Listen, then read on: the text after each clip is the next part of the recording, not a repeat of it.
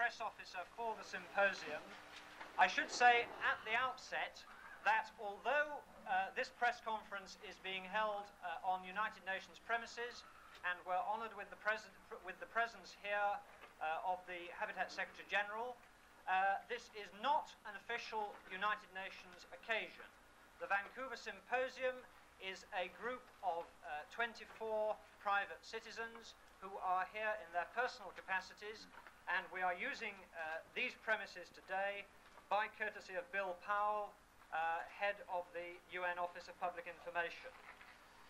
Uh, before uh, I introduce uh, the chairman of, of this group, could I just say that the text of the declaration is available outside uh, in the document center, as is a press release.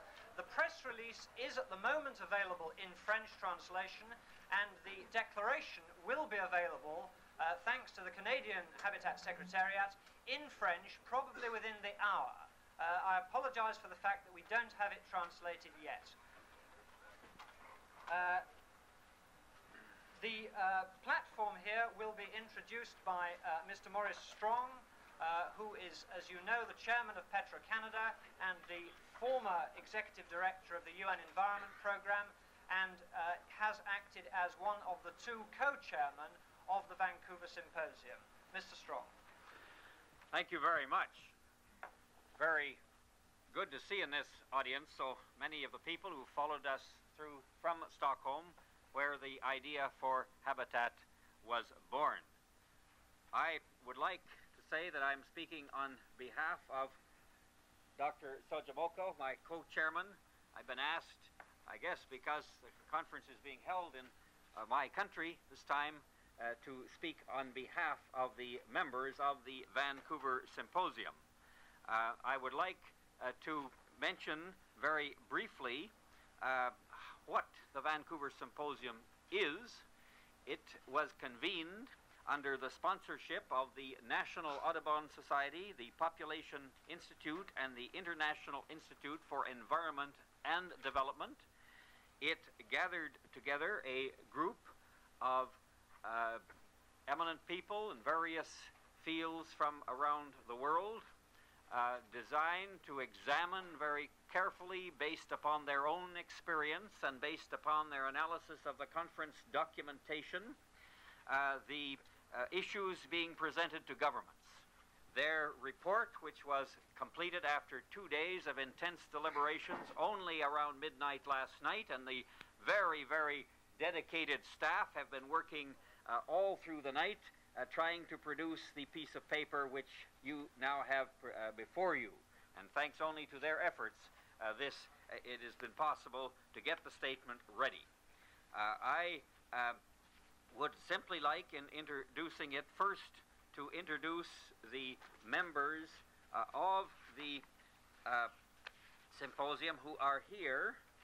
Um, and notably on the platform, we have, uh, first of all, I will start on my left, uh, Lady Jackson, Barbara Ward, uh, who has been the rapporteur uh, and principal organizer of the symposium. I will say nothing more about her. I've described her as Lady, uh, Lady Spaceship Earth, uh, uh, Miss One Earth. She's also Lady Habitat. Uh, um, on my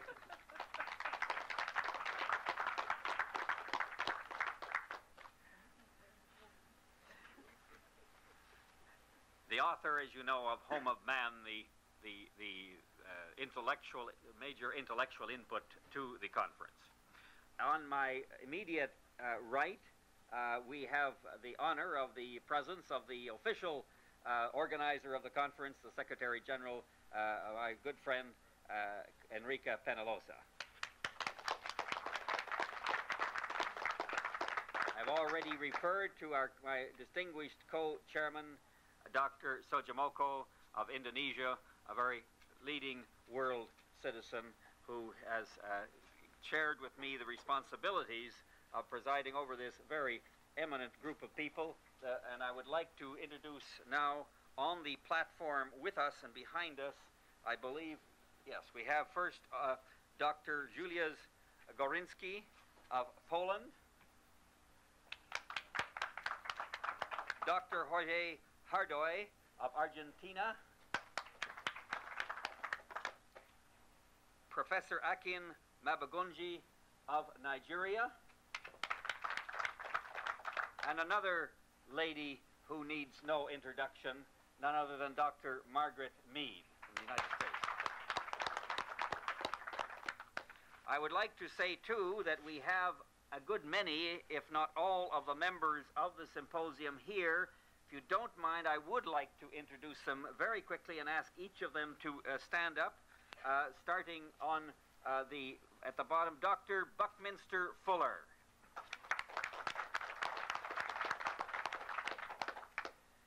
And Dr. Alexander Kwapong of the United Nations University of Ghana. And Dr. Laila El Hamamsi of Egypt.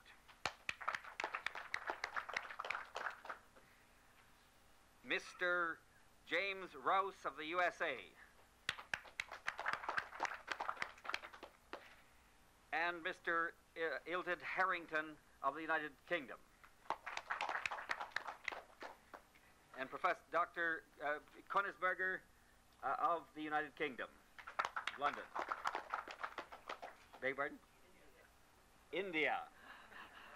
Incidentally, I think I think you will all recognize I'm calling everybody doctor. Many, most are professors as well, and uh, if I gave all their titles, it would take just too long.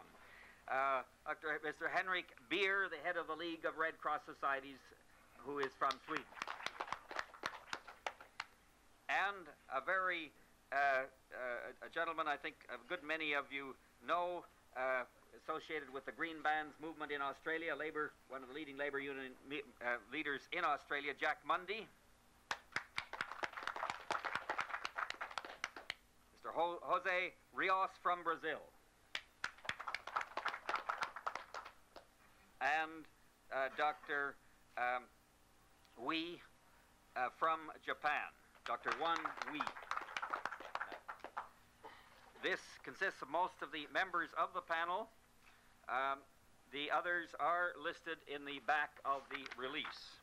May I just then mention one mechanical point? Because of the speed with which the document were, was produced, there were a couple of changes to which I would like to draw your attention on page two. In the the sixth, the, the fifth item on page two, which starts out in developing societies, the encouragement in migrant communities of the full range of self help by means of security of tenure and assistance with essential services. It was intended that that item end at that point and the word with in the next sentence be deleted, and this begin a separate point.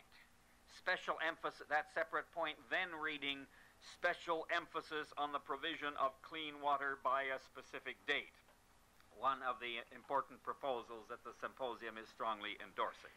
And in the next, the second from the next point, the one on the headed a moratorium on the adoption of nuclear technology that should read nuclear power generation, not nuclear technology.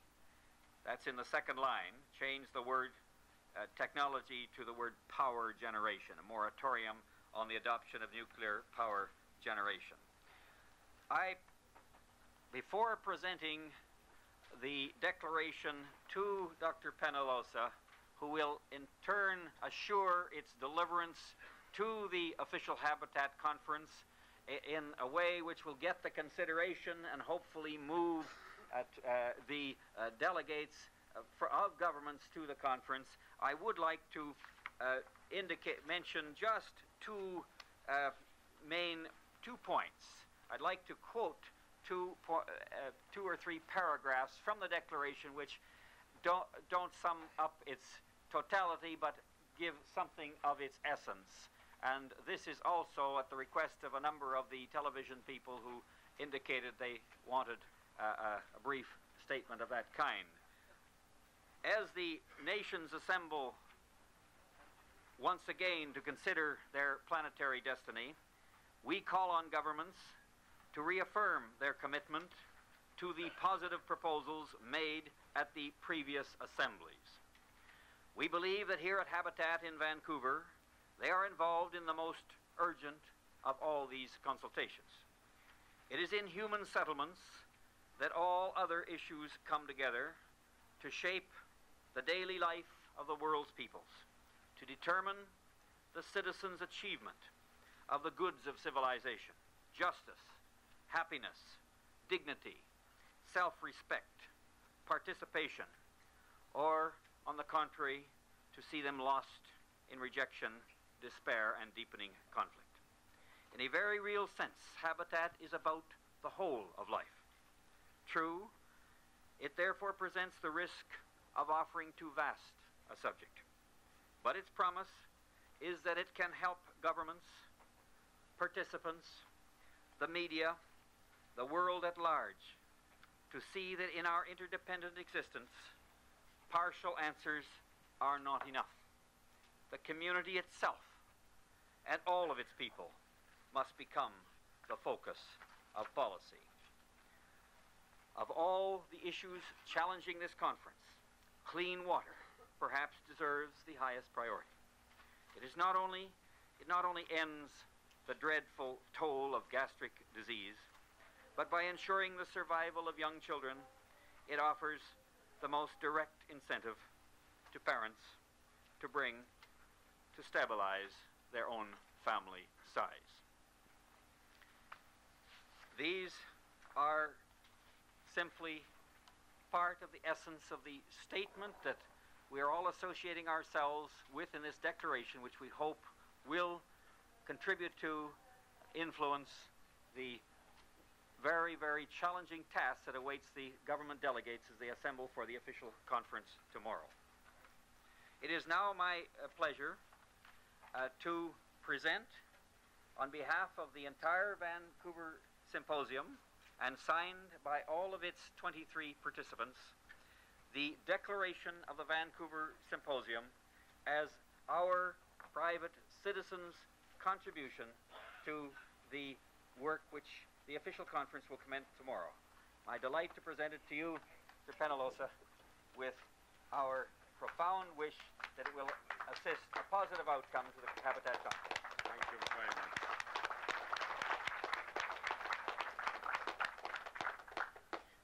In behalf of the United Nations, I like to thank very, very much to all the participants of this symposium for this declaration. I am convinced that this is going to be to have a great impact in the final outcome of the conference. If only one of the persons subscribing this declaration would be doing it, that would be enough. But all of them together, I think is going to be a tremendous impact in the positions of all the official delegations. I like to take this opportunity also to thank many of them that have been in these last two years contributing in their personal capacity with their advice, their experience in the preparations for the conference because most of the documents going to the conference are just the result of the cooperation of UN agencies, governments, and private citizens like the very distinguished that are today with us. Thank you very much. Thank you very much, Mr. Lady Jackson, who has been the source of so much of the inspiration for all of our efforts, accompanied by people of the world stature of Dr. Fuller and Dr. Mead and the others gathered here are now going to make themselves available uh, to answer any questions uh, of the media. I would suggest it's a crowded room, it's difficult, but uh, there is tra translation into English and French here, and in order to assure that use of those translation facilities, it would be very helpful if uh, people could uh, use the microphones provided. Uh, I know that is a bit difficult, but it would be appreciated, and I think it would facilitate our, our work here. And if you wish to direct the question to any individual person, you might name that person. Otherwise, I will direct them to Lady Jackson and uh, suggest that she, in turn, if she wishes to uh, uh, redirect them or ask or call upon one of the other members, she will do so. Yes. Would you mind identifying yourself in each case and the particular uh, organization you represent? My question is to uh, Lady Jackson. My name is Ira Leibowitz. I'm from New Solidarity International Press Service.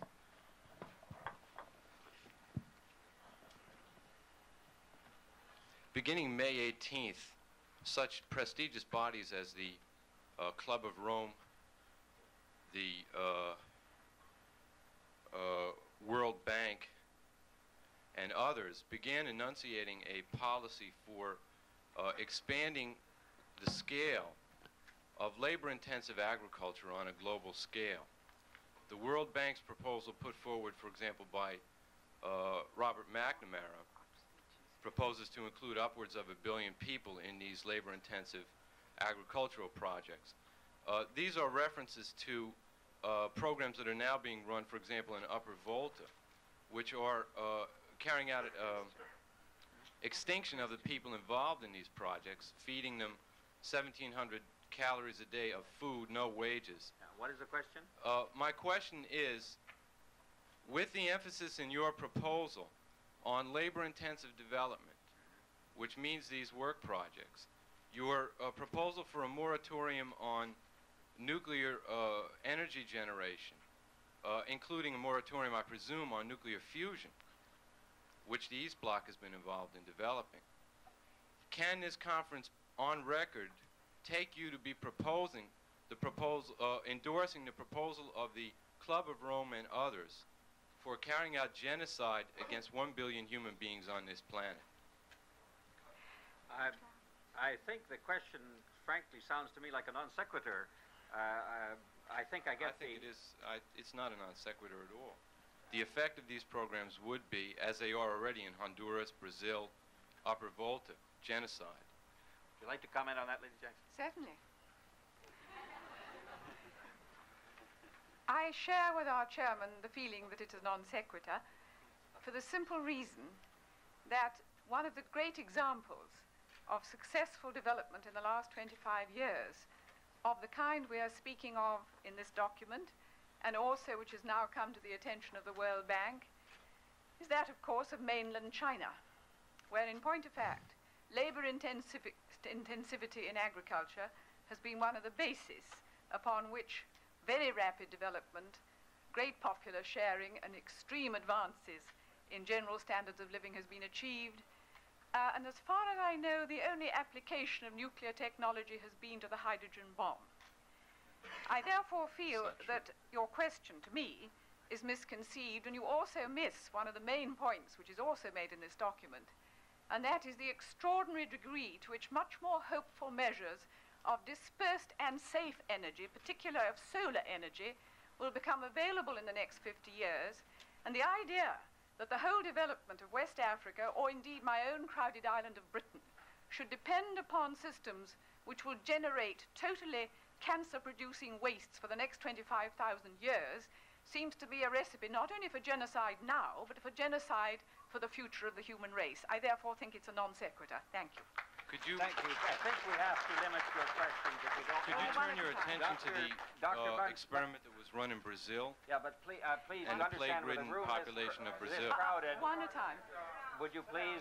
You've had your share of time, I believe, but Dr. Fuller would like to make a comment on this. Dr.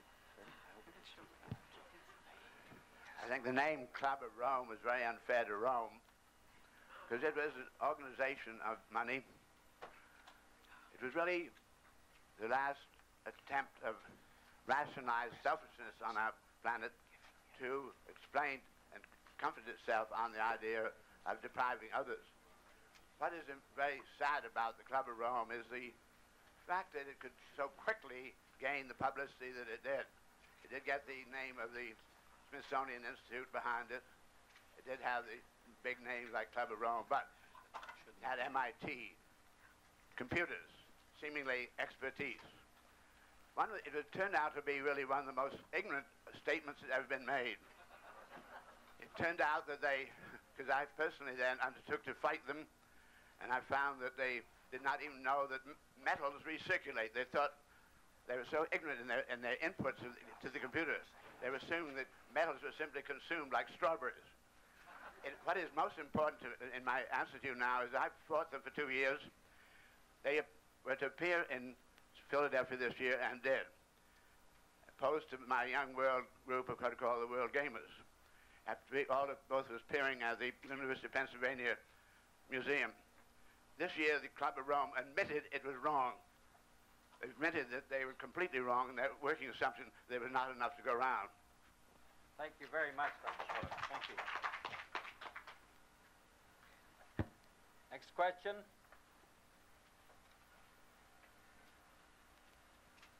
Uh, Peter Wilsher, Sunday Times, London. Um, could Lady Jackson or Mr. Strong perhaps uh, indicate to us where they think the symposium's proposals are most in advance or most at variance or most likely to create tension with the uh, items listed in the various official conference documents? Uh, Thank you.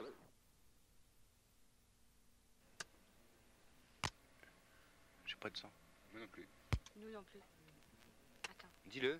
Under the impression that the document which you are declaring this morning constitutes a sort of moral suasion on the delegations which uh, will discuss these uh, human establishment questions tomorrow. I would say that it is our, this is our hope because if we are to lose confidence in all moral suasions or all possibilities of moral suasion, we should all go home. Yes, I hope so. Thank you. Other questions?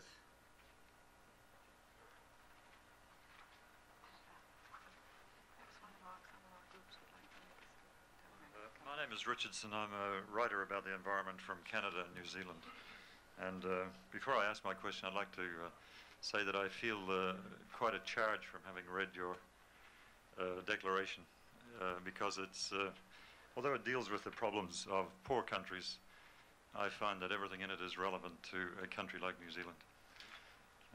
and for instance, on the day that this conference ends, we are launching a national campaign to try and stop uh, nuclear energy for power production in New Zealand. There's two detailed things that I, I, was interested in. One is a reference on page five to vast coastal cities, which are largely unlinked with the hinterlands. Uh, I suppose uh, Calcutta is such a city. And I met, uh, I think you could call them these religio mystico technocrats from the United States who feel that uh, everything is working out okay. And uh, some of them came to New Zealand in November for a preparatory conference for this, sent a tremendous shock into a lot of Africans and Asians by claiming that there was really nothing that could be done except to accept the accumulation of these 200 million people in places like Calcutta. And that indeed, uh, a place like Calcutta actually is feeding the hinterland that the hinterland is depending on a place like Calcutta. That seemed to be to be a, a, a fundamental difference uh, in view between the people who are living in Africa and who are hoping to develop uh, the hinterland, which contains 80% of their people, and the kind of technocrats of the Western world who are thinking in terms of a huge uh, yeah. urbanization. Well, That's with one respect, question. with respect, I wonder if you could That is the your question. Yeah. That is the question. What, uh, does anybody on your panel have a, a view as to the true nature of this relationship between the hinterland and the uh, vast uh, developing urban? Okay, may I ask uh, Charles, Dr. Charles Correa, who uh, is one of the members of our panel that I didn't, uh, uh, I did not introduce, but uh, because he's, I didn't notice that he was in the general audience. But he would be the best person to respond to that question if you wouldn't mind doing so, Charles. Amongst other things, uh, Dr. Correa is responsible for building the new twin to Bombay. Well, uh, perhaps here, I. please. Sorry. Yes. Uh, perhaps I didn't understand the question. Was it that uh, someone is advocating Calcutta going to 200 million? well, uh, no, I, I, the largest number I'd heard was 60 million, and that wasn't advocated. That was sort of feared. It was, you know, something to be dreaded. I, I think all the policies of the government and of any rational person in India is to try and develop new growth points away from Calcutta and other parts of the of Bengal and certainly of the country. Um, there is no advantage, I would think, in in uh, prejudging the case. I mean, you would have to look at it quite objectively to decide what is the optimum balance of human settlements, and that's one of the things strongly recommended in the report. Does that answer your question? This one, could I add one? Yes, Um, Lady Jackson would I- like to add a point. On the question of the uh, of the countryside living on Calcutta, I think one would have to point out that during the 50s and the 60s, uh, a great deal of the feeding of Calcutta was done on concessionary food aid from outside, and therefore, in any uh, likely future, the degree of dependence on food supplies will make the dependence of Calcutta upon the effective organizing of agriculture in India absolutely critical. So there's been an element, an historical element there, which suggests that uh, your friends were perhaps a little over optimistic about the causes. Very much. Any other questions? Yes, gentlemen. I'm sorry, this gentleman was up earlier, and I'll get you next. Bruce Cameron, CBC Television News. Um, I'd like to ask you what uh, what reasonable hope do you have that the conference will actually adopt a, a plan to shut down nuclear power generation, given uh, the the commitment that uh, governments have been have made, and also in consideration to the fact that uh, in in many cases the other environmental alternatives, the other power alternatives to nuclear energy, for instance hydro, are also very environmentally damaging, and I could go on listing each one of them. Uh, given that we have made that kind of commitment, isn't it, isn't it going? Uh, is it? Do you really believe that the governments will take the step of, of stopping it? I wonder if I might ask Dr. Mead to respond to that.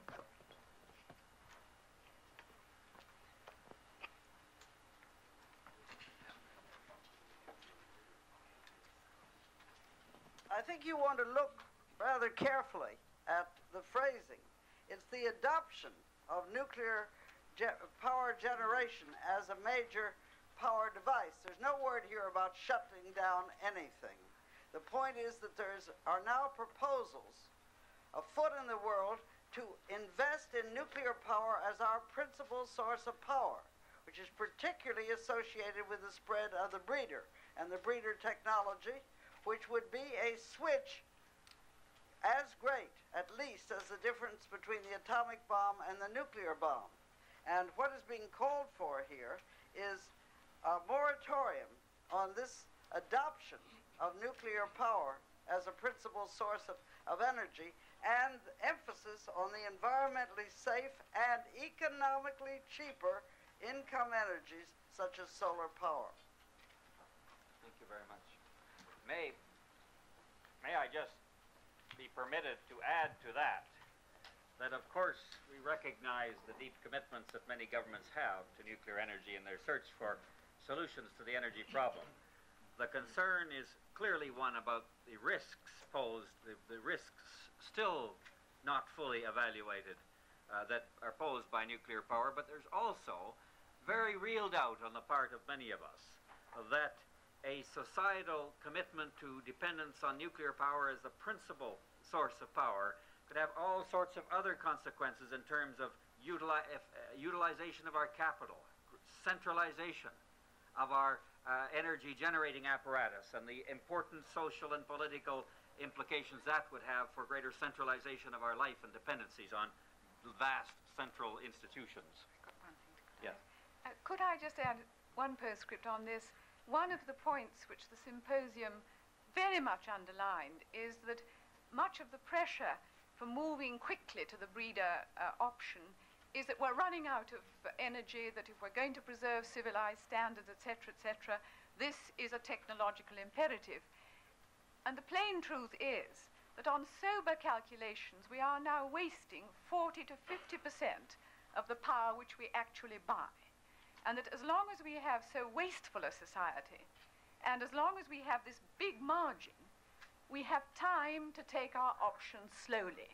We do not have to be pushed into options because, in fact, we are at the present moment chucking away our most precious resources. And I think that was very much in the mind of the symposium. I think we're all saying to governments, for God's sake, slow down. Lady there. Uh, yes, Martha Killebrew, Quantum Communications.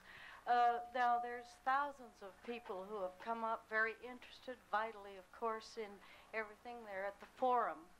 And I know that in Mexico City, we were at the Tribuna, and we got together and worked out in a very democratic fashion, working on what the uh, uh, principles had been proposed. And uh, we presented them then.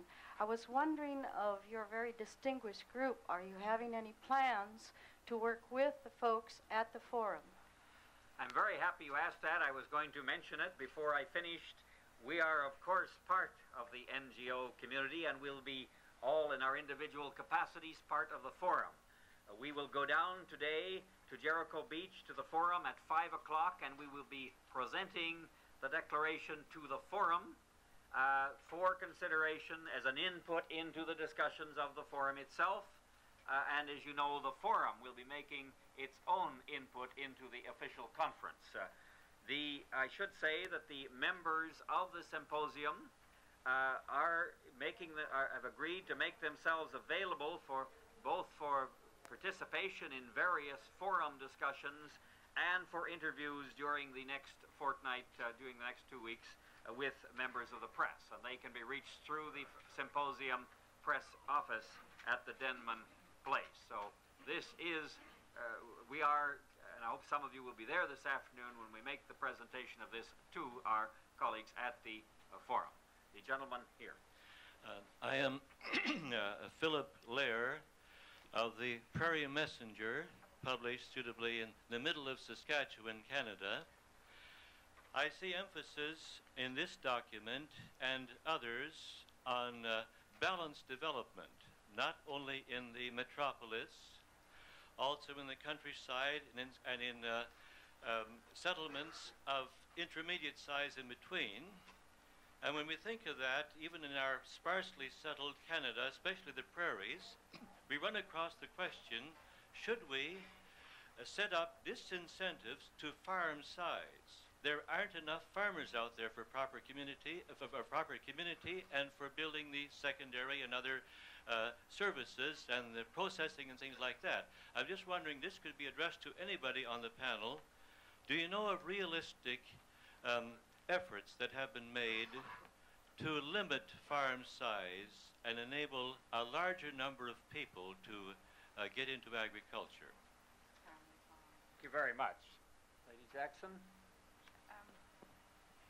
Well, the problems do vary enormously uh, no, from, oh, yes, from um, world to world. I think one of the difficulties has been in the past the unreadiness of a younger generation to consider a future in farming but in point of fact, a number of people are beginning to reconsider this option. And therefore, if you have a new group of young people coming forward and wanting to go back to the family farm, the family farm is, in most parts of the world, the most productive unit in the true sense that you can get. And so much of the very large scale farms depend upon immense inputs of energy, both in terms of mechanization and fertilizer, and it is possible that this kind of relationship may have to change, but uh, this is not my field. I, I would like to call on Mr. Les Brown. Les, Lester Brown, who is a member of our, is here. I'm sorry I did not realize he was, and I didn't introduce the members over in this corner. But Les, would you like to have a word on this? I don't know about the data north of the border in Canada, but we have seen a very interesting reversal trend in the United States in the past few years. Um, uh, for several decades now, the number of farms has been declining at a fairly rapid rate. Uh, beginning in about 1973, that reversed, and it reflects a number of things. It reflects the inherent difficulties in continuing to substitute large amounts of energy for labor in agriculture. It reflects a strong desire by a growing number of people to, to create a more habitable uh, environment and uh, in which to, to live and to raise families. So we're seeing a lot of uh, people returning to farms in a way uh, that would have been uh, impossible to anticipate a few years ago. One of the important things that we have to keep in mind when we think about human settlements and the movement of people from countryside to cities, uh, which has been so dramatic during the past quarter century, is that this does depend on an ever growing surplus of food produced in the countryside. And what we have seen during the third quarter of this century is the cities of the world becoming enormously dependent on food exports from one region, your prairies in the Canada and uh, of, of, North America generally. Um, and if that uh, growing surplus, uh, which I might mention this year is estimated at 94 million tons of grain from the United States and Canada, which will, in consumption terms, support 560 million Indians or 115 million Russians in industrial country terms, um, is, is really being used to, to feed most of the people who moved into the cities over the past 25 years. So one of the things that I think will probably affect very much and constrain uh, the rate of movement from countryside to city uh, during the next 25 years will be the capacity of the countryside to produce food surpluses. Thank you very much. I've just realized and I look over here that two other of our colleagues on the symposium were here all the time, and I didn't introduce them because I didn't realize they were here. This is uh, uh, uh Dr. Eduardo Terrazas from Mexico and Dr. Aphrodisio Laquian from the Philippines and Canada. Now, uh, the lady over here has been waiting, I think, for. Elizabeth Carroll from America.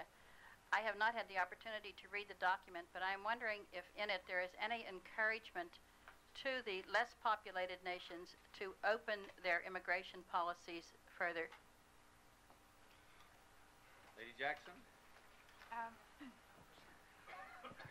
in a veiled form, yes. Because the document says that those who control fertile land and protein sanctuaries cannot expect that the laws of history will be so revised that they can keep it inviolate in a very hungry world. In other words, that there are choices facing these countries, which is either to get going on a world plan for the development of peoples in their own countries, or they will find that the immigration which they tend to resist may happen whether they like it or not. Uh, it is a, a, somewhat historical statement, but it is in the document. I wonder if our co-chairman, Mr. Soedjatmoko, would like to say anything on this subject.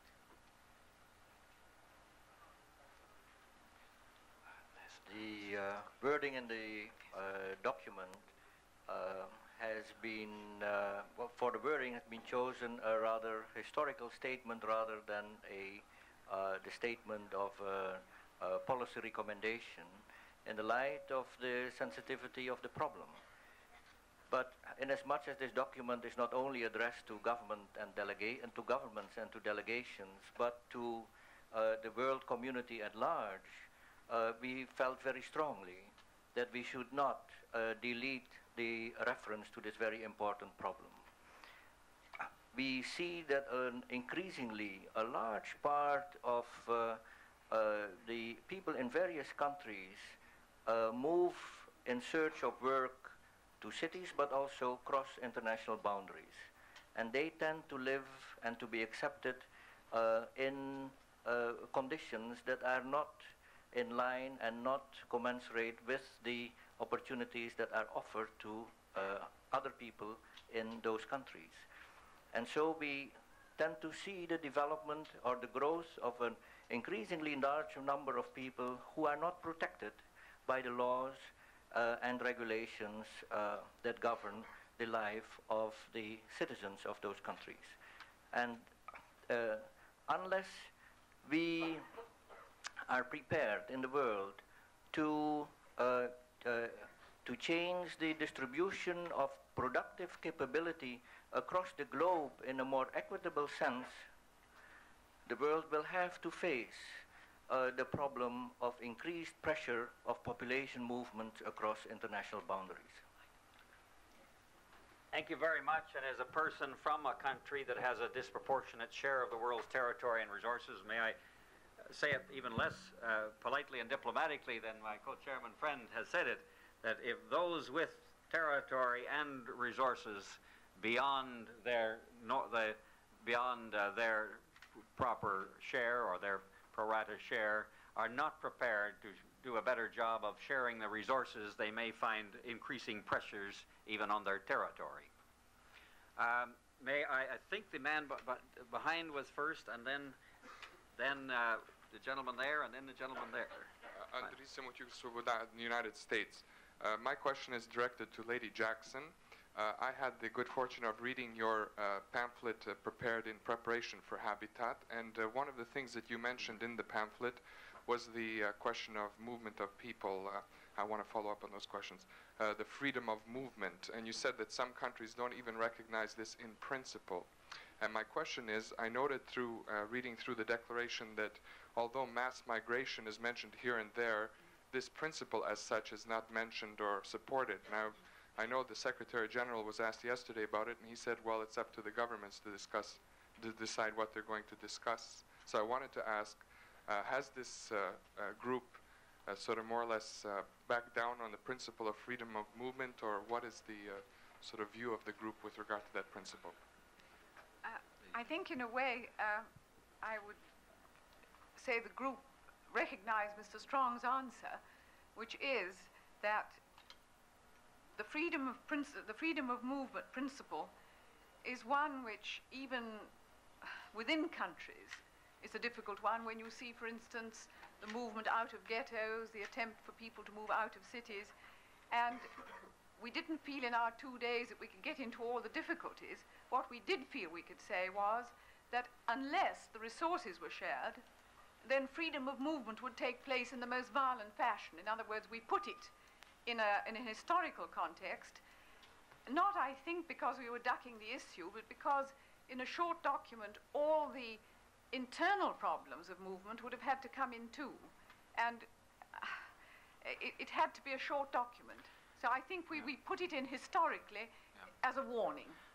The drive for Lebensraum uh, is not yet dead. We may have even yet uh, mm. not begun to see it, uh, it in operation.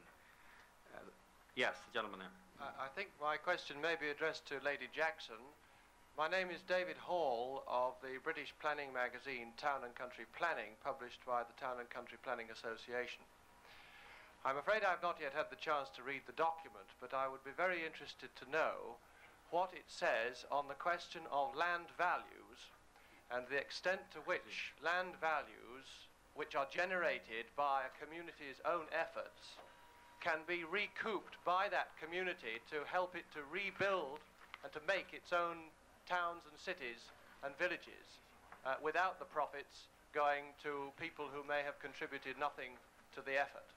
Uh, it's probably the most unequivocal part of the whole statement that unearned increment goes back to the community without any doubt whatsoever and it was the unanimous uh, opinion of the group that this should be so. You, yes. Um, my name is Clyde Sanger, and I represent the Manchester Guardian. My question is to Lady Jackson. Um, in and it's about clean water. Um, in your uh, tour across Canada, which has obviously been extremely welcome, uh, you made this the, a major point. Again, this morning it's said to be a primary concern, although I don't think you're going to details about it in the declaration. Would you like to comment on the view that um, the technology and the engineering side growth in Latin America, the percentage of the population which is not served by uh, clear water, clean water, is growing tremendously.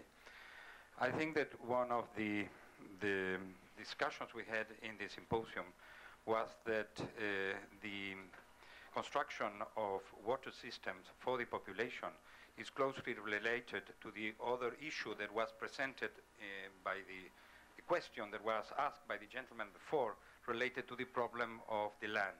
It's extremely difficult for the future construction of whatever public services will be constructed and incorporated into human settlements to do that unless you have a very uh, close control of physical growth.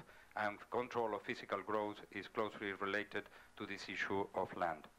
We all believe also on the symposium that uh, probably clean water is undoubtedly one of the investment, concentrated investments that can bring the more rapid benefit in terms of health, etc., to the majority of the population, which at the moment are not, um, do not have uh, that service available.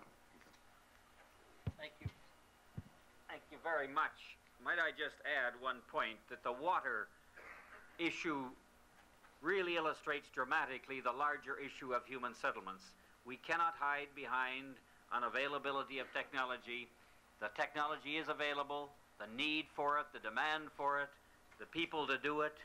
Uh, all the answers are really available. The basic answers to produce not only water for every person in the world, but decent human settlements for every person in the world. What really in need, are needed is the kind of government strategies, government commitments to provide the context and the framework in which the people and the technology can get together and produce produce quality human settlements. And this, this, I think, is one of the central thrusts in our whole deliberations. Governments simply cannot hide behind the inadequacies of existing uh, technologies uh, or available labor or resources. Yes, the lady in front here. My name is Valeska von Roques of the German magazine Der Yes, please. My name is Valeska von Roques of the German magazine Der Spiegel. I'm the New York correspondent of this magazine, and I would like to pose my question to Margaret Mead. Um, should I read out of the uh, recommendation to lessen the pressure on big cities by uh, reinforcing rural settlements that uh, problems of a city like New York could be eased by uh, recommending the migration of the West uh, 79th Street Block Association to Vermont? Um, and then, uh, and this seems to, to really point uh, to a, a larger problem of this, this, this uh, declaration and this whole conference. Uh, how are, uh, do the problems of cities like New York, Detroit, to a very small degree, even Berlin and Germany, relate to the rec- uh, recommendations like such in your document? Dr. Mead?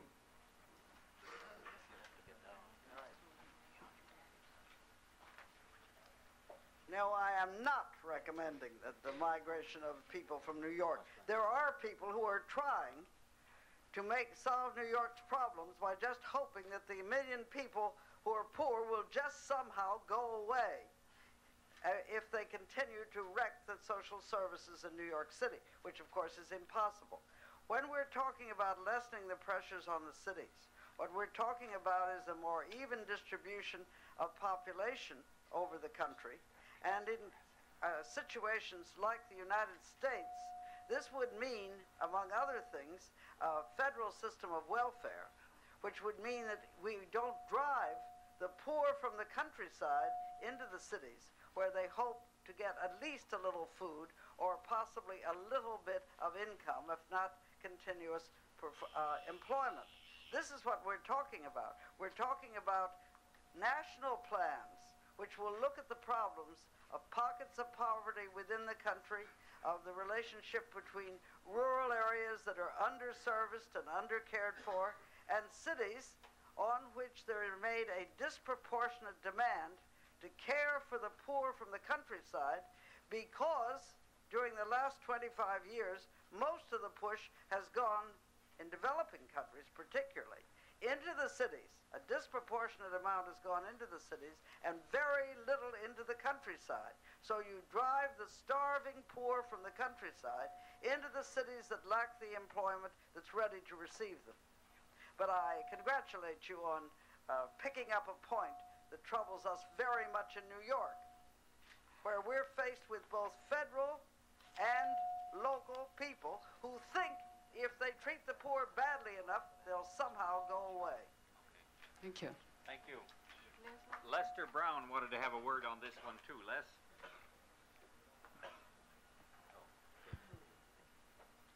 I think that's the line.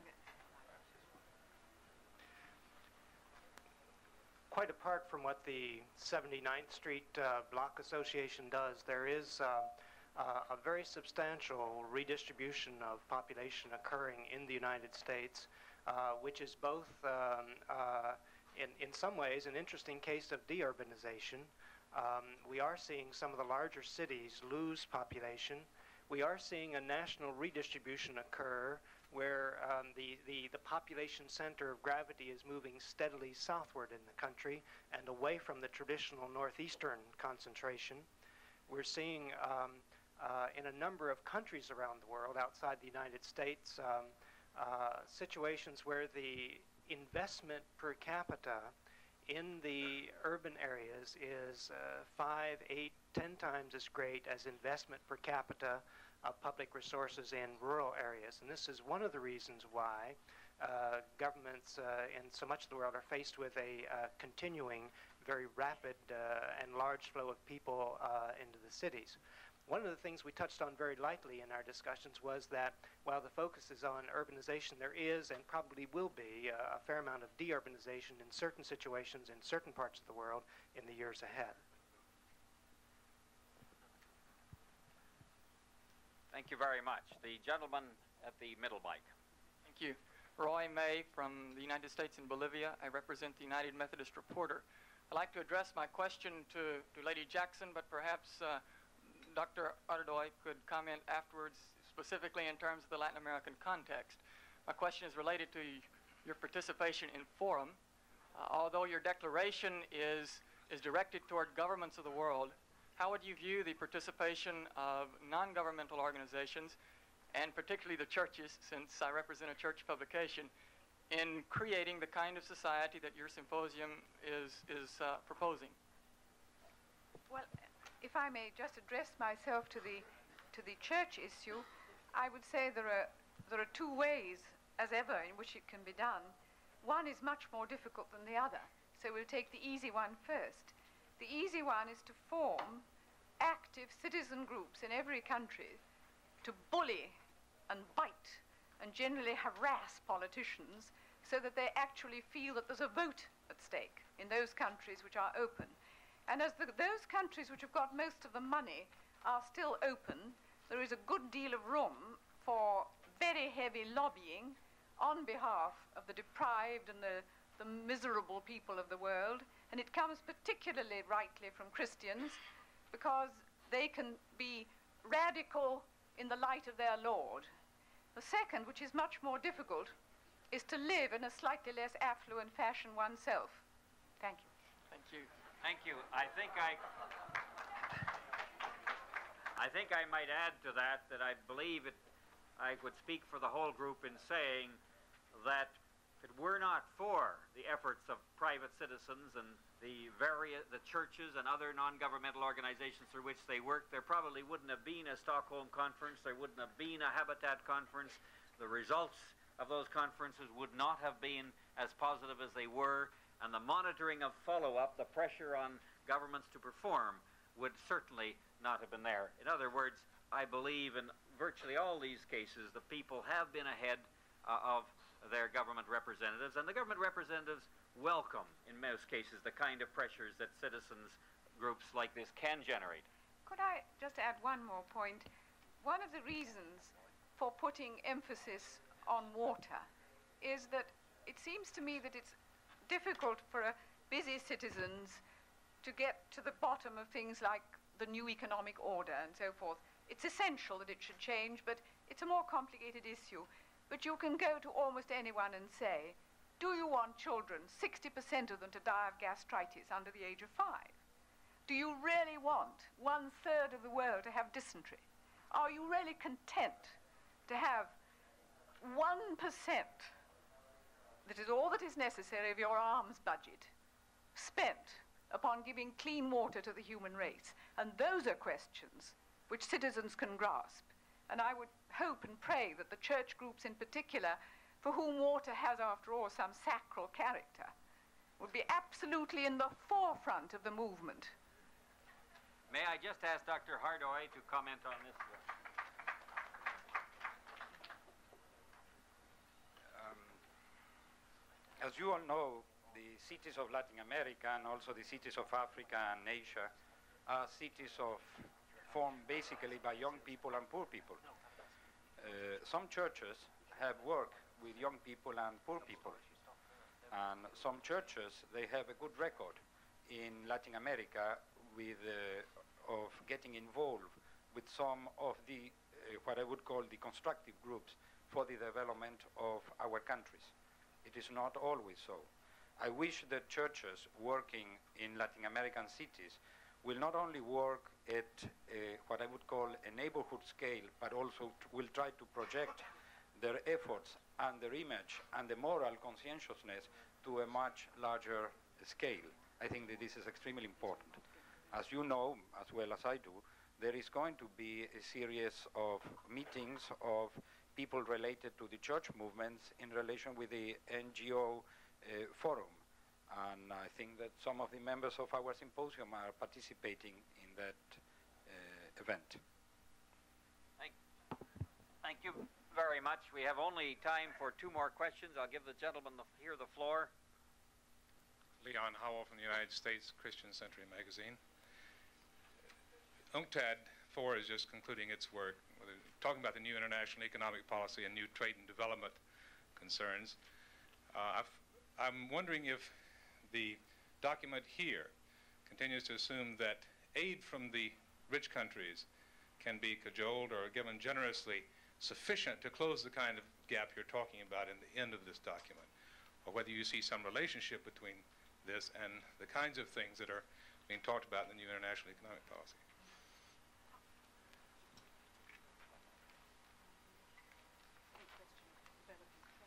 Think we'll get somebody from the developing world, uh, Professor Mabogunje from uh, Nigeria, to comment on this.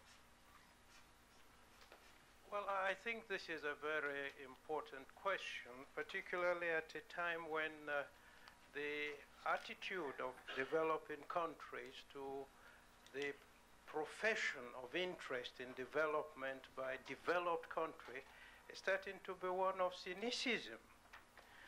But it is not a cynicism which should breed despair, and I think myself the whole point of conferences like we've had in uh, Stockholm that we have in here is precisely because it keeps bringing the world community back to the fact of their interdependency.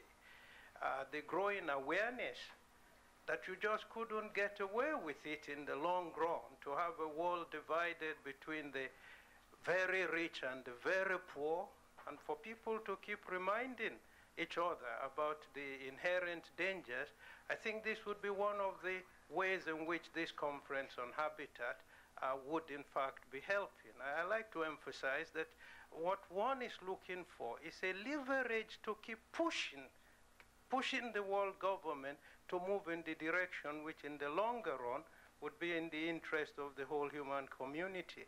I, I, I, must say the report from uh, UNCTAD has not been too encouraging but then this is the whole point we're saying here that one doesn't lose hope. Maybe if we start moving through the area of habitat, some changes might happen and eventually UNCTAD will go on meeting and maybe there would be some change, as I said, not in the too longer run, but it has to happen too soon before despair turns to real violence. Thank you. Thank you very, thank you very, very much. I'd like Lady Jackson to make a comment on this as well just on the specific UNCTAD point, uh, I would say that if you look back over 10 years to the various UNCTAD conferences, one of the tremendous changes has been the balance of power to the OPEC, which is a reminder to the world that even power relationships are not permanent. And um, as Dr. Johnson once remarked, the prospect of being hanged in a fortnight gives you wonderfully to reflect. And I can't help thinking that there is a new attitude, a new readiness to see that relationships not only must change, but can change and will change. And so that within that context, as Dr. Mabogunje was saying, this continuous world dialogue is moving us towards a greater sense of, if you like, the realization that we have within a society that you cannot carry on with 90% of your people unrepresented, without work, without employment. It breaks down. And the UNCTAD uh, seance, which I believe has had a bit of a breakthrough over the weekend, uh, is obviously in part the successful pressure that has been added by the OPEC countries, and in part the continuance, we hope, of some conscience among the developed. Very much. I see a lady, ladies haven't had equal time, and this lady has been asking for the floor on this subject, and may, yeah. Are you, yes. I see two other ladies and one gentleman, and I will have to cut it off then, yeah. My name is Mangalam Srinivasan. I'm a consultant working in the area of international development. Um, I was going to ask our Nigerian friend here about uh, uh, new international economic order. In my continued work in the area in the last two years, the people of any country in Asia or Africa, they've never heard of this.